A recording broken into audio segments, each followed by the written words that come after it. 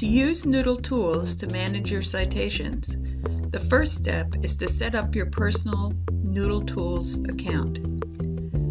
Go to the DACC library page through the Student Services link or library button on DACC's homepage.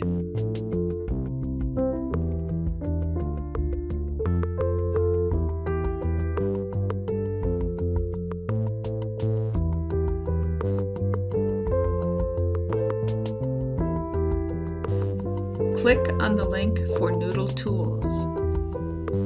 This webpage includes several useful links besides the Noodle Tools links, including sample papers in both MLA and APA style, and some troubleshooting tips.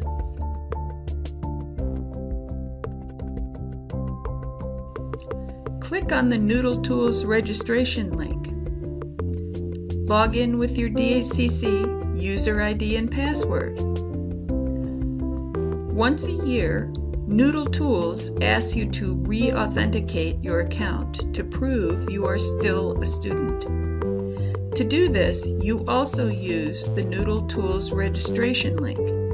This will force you to log in through the college server, and Noodle Tools will know you are still a student. Click on Register. Complete the form.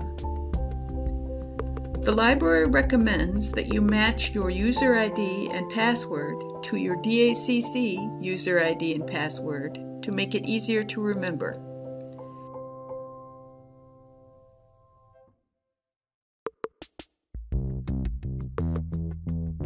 Click Register.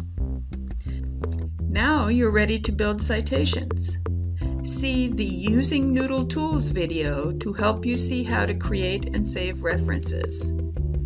Thanks for watching.